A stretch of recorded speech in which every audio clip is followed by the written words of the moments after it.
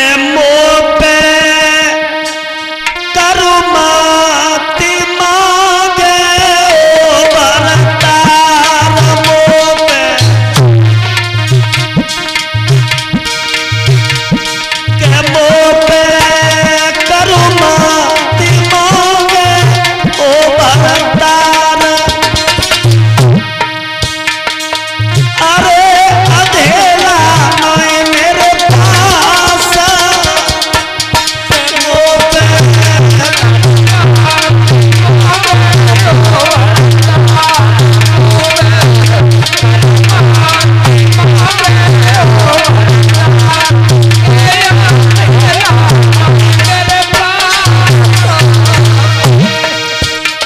again.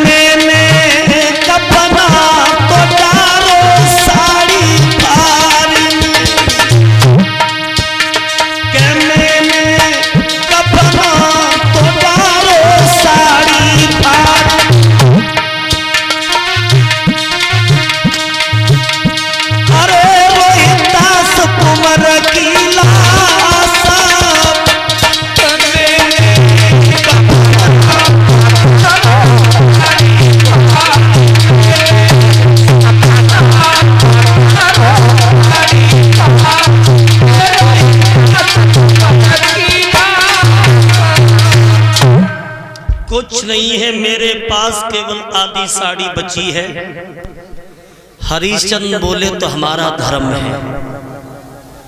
तो मऊ बादना बहुत बड़ी पंडितानी बन रही, जब हमारा घड़ा नहीं उठ रहा था। वो आज मेरा भी धर्म है।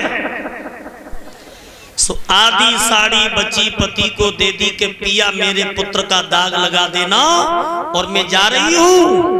और जैसे ही रानी तारा चली तो उस कपटी विश्वामित्र ने दो बच्चों का कत्ल करके चौराहे पे डलवा दिया और आवाज़ लगा दी,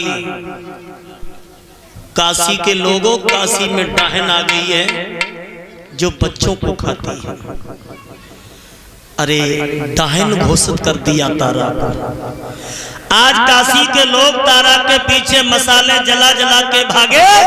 लेकिन आगे आगे तारा पीछे पीछे काशी के लोग। लेकिन वही तारा अपनी रक्षा करने के लिए कहा पहुँची है? एक दुर्गे के मंदिर में जाकर के गिर गई और गिरते ही गिरते जा दुखिया को नींद आ गई। क्योंकि या तो दुख में नींद सतावे या दुख में भूख सतावे। रानी तारा को नींद सता रही थी तो तारा दुर्गे के मंदिर में गिर गई और काशी के लोगों ने चौथरपा से मंदिर को घेर लिया। लेकिन काऊ की हिम्मत ना पड़ी जो मंदिर के अंदर जाए और डाहिन को मारे।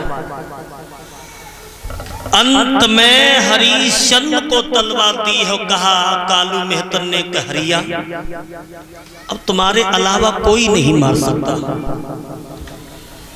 अंदर जैसे ही हरिश्चंद्र घुसे हैं तो भाइयों, रानी तारा सो रही थी तो केस पकड़ करके अपनी पत्नी को उठा लिया।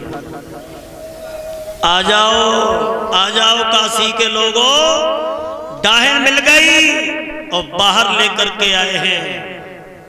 तारा से कहा तारा तू डाहन है?